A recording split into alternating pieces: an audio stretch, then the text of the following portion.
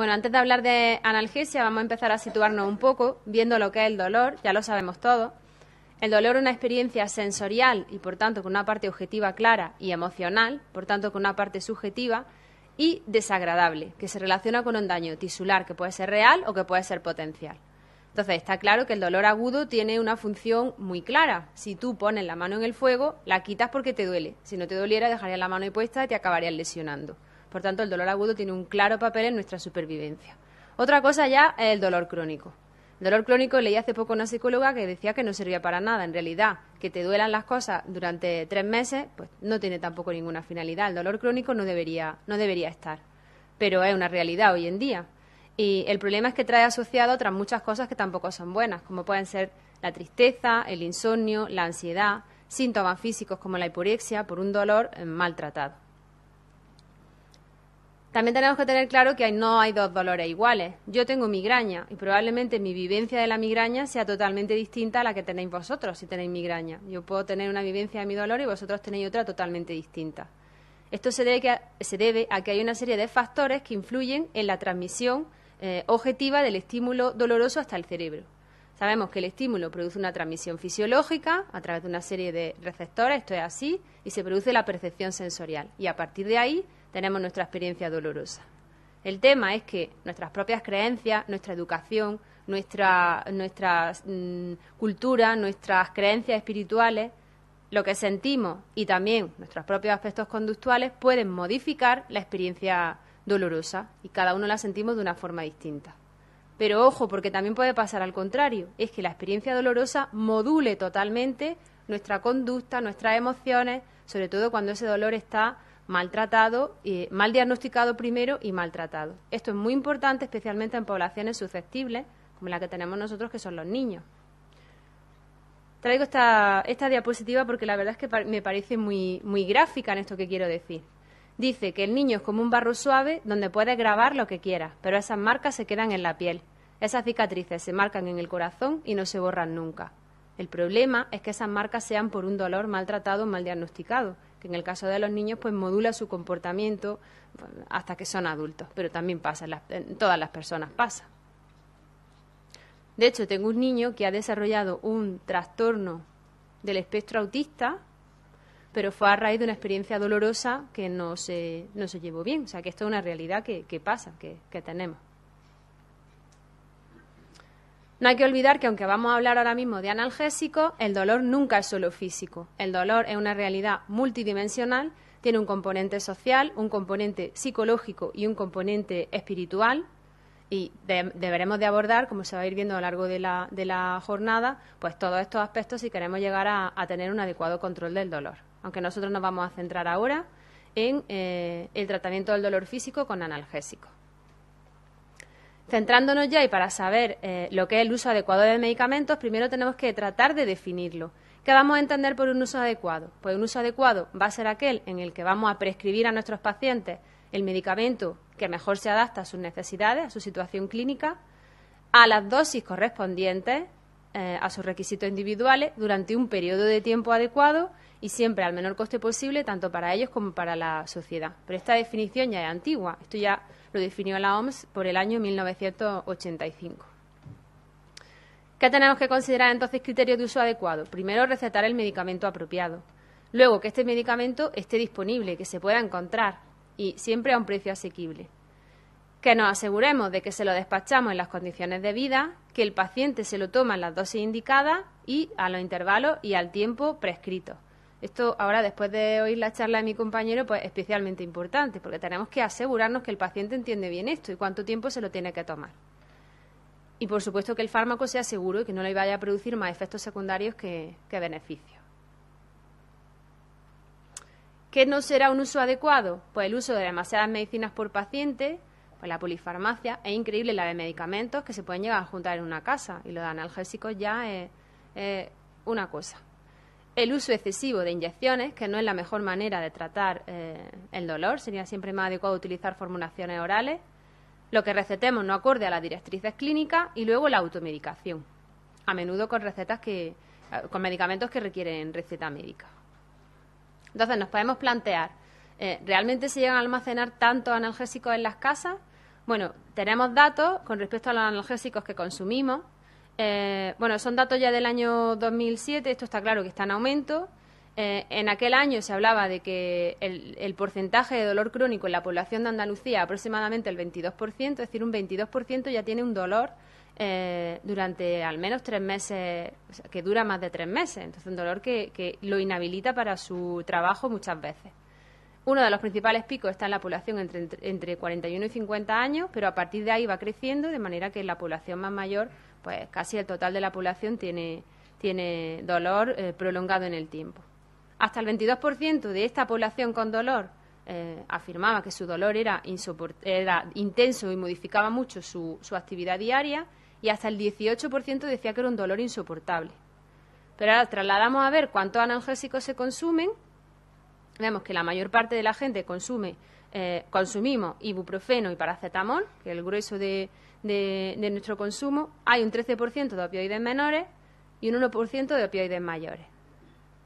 Entonces aquí a mí me da que pensar, pero claro, después de escuchar la charla de mi compañero me da también que pensar más cosas. Porque si un 18% tiene un dolor insoportable y solo hay una prescripción de un 1% de opioides mayores, algo falla. O recetamos pocos opioides, o bien no estamos diagnosticando bien el dolor y lo estamos infradiagnosticando e infratratando. Pero claro, ya después de escuchar lo anterior, no sé si me apetece que aumente el consumo de prescripción. Todo dependerá de cómo se prescriba. Con respecto a los opioides, el 5% es morfina y bueno, el resto entre los diversos opioides y hay un predominio de la vía transdérmica. Yo quise saber si esto hoy en día era verdad. Entonces me, dediqué a, pedirle a, a, conocidos, a gente así que, bueno, con la que tenía cierta confianza, que me mandara fotos de los analgésicos que tenían en casa. Pero así, yo les dije que quería hacer un trabajillo, ¿verdad? Mercedes, les dije que quería hacer un trabajo y que por favor me mandaran fotos de los analgésicos que tenían en casa por ver un poco sobre qué nos estábamos moviendo y si esto era verdad. Y bueno, la verdad es que sí. La mayor parte de la gente lo que tiene es paracetamol e ibuprofeno, aunque quizá haya que revisar por qué se está prescribiendo el ibuprofeno de 600. Veía poco ibuprofeno de 400, cuando ya sabéis que ahora la dosis pues con el ibuprofeno de 400 podemos tratar perfectamente la mayor parte de los dolores que se tratan con el de 600. Este sería una dosis un poco alta. Aparece el nolotil también, que es frecuente en los domicilios. Aquí hay una persona, como sabía que era pediatra, pues ya me metió los analgésicos de los niños. Me extrañó que tuviera tantas marcas de... O sea, tiene hasta tres cajas de ibuprofeno de marcas distintas y, bueno, parecía el paracetamol, pero es que los niños igual, tenían botes diferentes de, de lo mismo. Esto es lo normal que nos podemos encontrar. Aunque tenemos que tener cuidado porque hay gente que empieza a tener ya eh, opioides menores asociados con el paracetamol y, aparece... Mira, esta persona me puso un diazepam. O sea, eh, sabía que esto era un coadyuvante, entonces me lo metió también como analgésico, ¿vale? Pero esto es lo normal que tenga la gente en su casa. Ahora, que a mí me preocupa que cuando esto se queda en casa, esa persona sepa bien cómo se lo tiene que tomar. ¿Cuándo? ¿Qué tiempo? Porque esto ahora lo tiene en casa, yo no sé si lo va a utilizar para otra cosa que no sea el uso que tiene mm, indicado. Entonces tenemos que tener mucho cuidado con, con, las cosas que llega a almacenar la gente en su casa, que tengan prescripciones claras y que por lo menos tiene puesto uno, uno y uno. En la caja por lo menos lo tiene claro, ¿vale? Pero son cosas que tenemos que tener en cuenta que eso se va almacenando en los domicilios. Entonces, siempre, para el uso adecuado de analgésicos tenemos que tener en cuenta que es muy importante el analgésico que utilizamos, pero también cómo lo utilizamos. Tenemos que seguir una serie de principios generales siempre. Lo primero y fundamental es que identifiquemos al paciente con dolor, porque si no sabemos que tiene dolor no lo podemos tratar. La evaluación adecuada, eh, con una anamnesis, una exploración completa y utilizando, si necesitamos, escalas que ya están validadas y que sabemos que funcionan, Siempre vamos a comenzar por el escalón analgésico más adecuado según el tipo de dolor que tiene el paciente y la intensidad de su dolor. La administración debe ser pautada. Un paciente que sabemos que tiene dolor no le podemos poner el dolor, eh, los analgésicos a demanda, sino que tienen que ser pautados. Revaluando siempre la respuesta analgésica y los efectos secundarios. Tratar adecuadamente el dolor irruptivo. Siempre hay que dejar medicación de rescate por si aparece el dolor eh, sobre su dolor de base pueden aparecer picos de dolor. No usar de forma conjunta opioides potentes y débiles. Priorizar siempre la vía oral, aunque esto dependerá un poco de las circunstancias del paciente. siempre instrucciones muy claras, tanto al paciente como a su familia, que puede ser la que se encargue de administrar la medicación en un momento dado. Tienen que tener todo muy claro de lo que le hemos mandado. Y no olvidar que es necesario un abordaje integral de la persona y de su entorno. Y va a ser fundamental el uso de medidas no farmacológicas. Ningún dolor se va a controlar solo dando analgésico. Eso tenemos que tenerlo todo muy claro. La escalera analgésica de la OMS eh, se utiliza todavía como recurso. Sabéis que eh, organiza los analgésicos en tres escalones, atendiendo a los que se utilizan en dolor leve, subiríamos un escalón y estarían los de dolor moderado, y subiríamos un escalón y estarían los del dolor grave. En el primer escalón, analgésicos no opioides, eh, en el siguiente, para dolores moderados, opioides menores, y por último, opioides potentes. Los que más utilizamos cada uno de ellos, en cada uno de ellos, sobre todo en el primero, paracetamol y en el segundo codeína y tramadol y en el último lo más utilizado son la morfina, el fentanilo y bueno, luego otros que vamos a ver posteriormente. Eh, en el caso de los niños, estos fármacos no se usan, eh, no se recomienda su uso, se, aconseja una escalera bifásica por temas de mm, falta de datos con el tramadol, aunque realmente pues que la usamos de vez en cuando y el problema de la codeína es su metabolización, que puede ser muy variable y en los niños nunca sabe si la misma dosis eh, a uno le hace mucho efecto y a otro no le hace nada. Entonces la codeína no se utiliza como analgésico en los niños. Los niños solo utilizamos eh, opioides potentes a una dosis o a otra según la intensidad del dolor del niño. La escalera analgésica está muy bien, pero ya sabéis que esto de ir escalando el dolor, ya eh, ir escalando en el uso de analgésicos no, no es lo más recomendado. Lo, mejor es que el paciente empiece por el escalón adecuado a su tipo de dolor. De manera que ya en lugar de escalera se habla más de eh, eh, ascensor analgésico. Y luego, muy importante, hay que tener en cuenta también el mecanismo de acción de los analgésicos. Saber cómo funcionan, qué efectos secundarios van a producir y si se adaptan al tipo de dolor que tiene el paciente. Luego, para hablar de los principales analgésicos, el primer grupo eh, está formado por los analgésicos no opioides, dentro de los cuales pues, tenemos sobre todo antiinflamatorios no esteroideos, eh, el que más se utiliza eh, es el ibuprofeno, y luego antipiréticos como el paracetamol, el metamizol, se caracterizan por tener techo terapéutico, de manera que podemos alcanzar ciertas dosis que no podemos sobrepasar, porque entonces no tenemos ya más beneficio y si empiezan a aparecer efectos secundarios importantes. Se utilizan en dolor leve a moderado, especialmente cuando hay compromiso del sistema musculoesquelético o afectación ósea. Y todos se caracterizan por tener una eficacia analgésica muy parecida, pero difieren en el perfil de efectos secundarios que pueden producir. Sabemos que los principales son los gastrointestinales, pueden producir dispepsia, pirosis, hemorragias digestivas, úlcera gastroduodenal. Efectos renales, hay que tener mucho cuidado con estos, eh, con estos analgésicos en pacientes con insuficiencia renal porque disminuyen el filtrado glomerular. Y luego tienen efectos cardiovasculares por su efecto inhibidor sobre las prostaglandinas. Tienden a retener sodio y agua, por tanto elevan la tensión. Sobre todo ciertos AINES como el naproxeno, el pirosicam o la indometacina. Este efecto es muy escaso, por ejemplo, con el ibuprofeno. Tienen también interacciones farmacológicas que hay que conocer. Por ejemplo, con los diuréticos de asa, porque disminuyen su efecto, tienden a subir la tensión arterial. Y con los anticoagulantes orales, porque aumentan el riesgo de sangrado, aumentan eh, la eficacia. Eh, de manera que en pacientes que estén anticoagulados quizás sea preferible utilizar paracetamol y metamizol, aunque se podrían utilizar los demás dosis bajas y teniendo en cuenta ajustando los anticoagulantes orales. Los principales utilizados aparecen en esta tabla con sus dosis. Y bueno, importante, los inhibidores selectivos de la COX-2. Son importantes ¿por qué? Porque al no producir eh, inhibición de la COX-1 no tienen los efectos gastrointestinales que tienen los inhibidores no selectivos. Pero hay estudios ya que demuestran que aunque tienen muchos menos efectos gástricos, producen más eventos a nivel cardiovascular. Producen más elevación de la tensión arterial, trombosis venosa profunda, coagulación intravascular diseminada. De manera que hay que tener precaución con estos fármacos.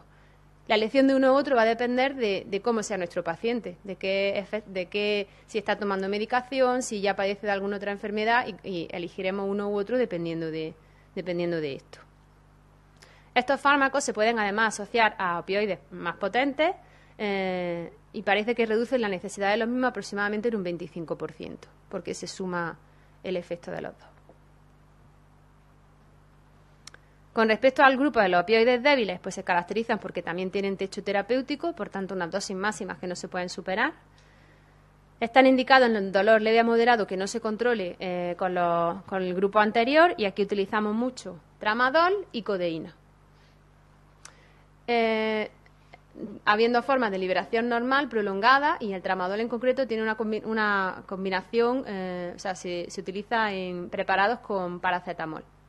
Eh, el tramadol se ha visto que puede ser eficaz, parece ser eficaz en el dolor neuropático, de manera que actualmente se, se plantea como primera línea en las, exacerbaciones agudas combinado con, paracetamol.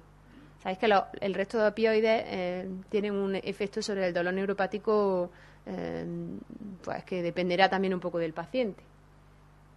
Como precaución en tratamientos prolongados que parece que baja el nivel convulsivo, de manera que hay que tener cuidado en pacientes que, tengan eh, problemas de este tipo y hay que ajustarlo en, la insuficiencia renal.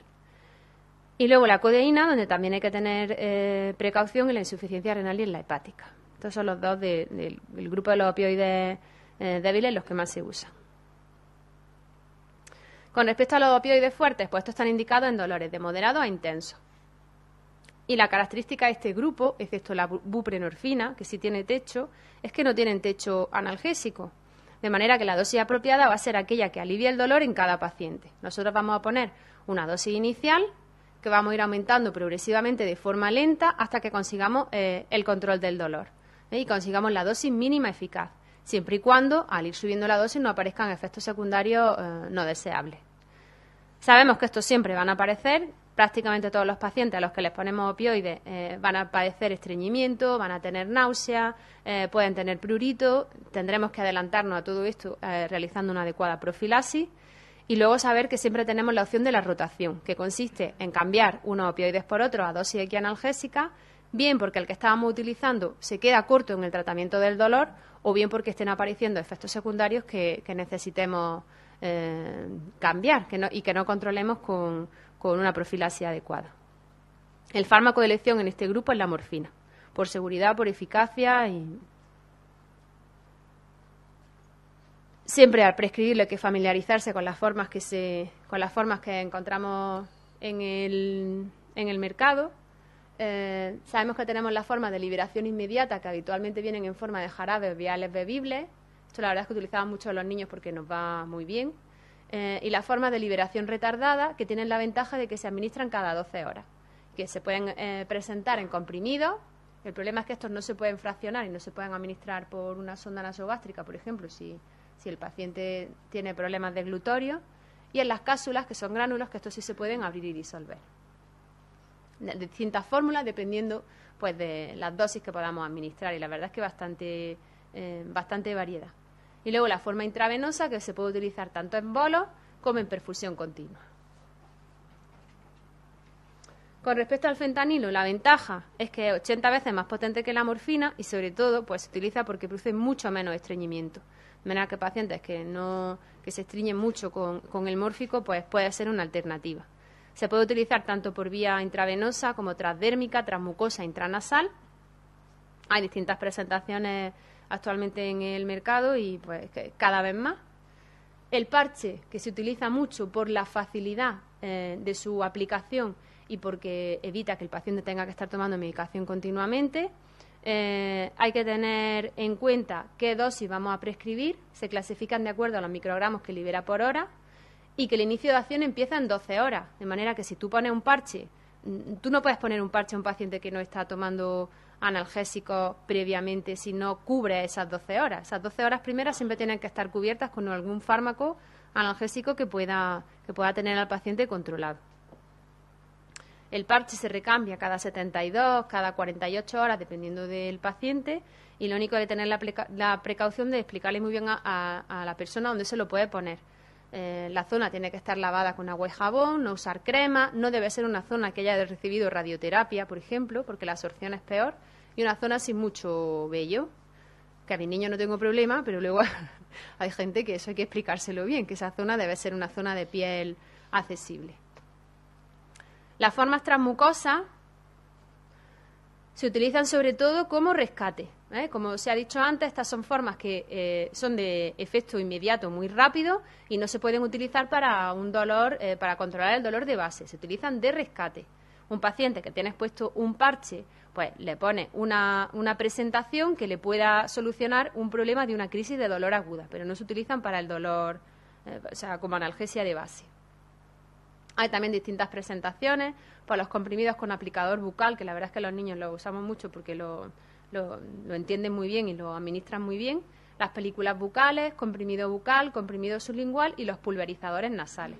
Y bueno, siempre hay que darle a los pacientes instrucciones de qué hacer si el dolor no cede, si pueden repetir la misma dosis, si usan otra cosa. Entonces, todas estas instrucciones tienen que quedarle a los pacientes siempre muy claras.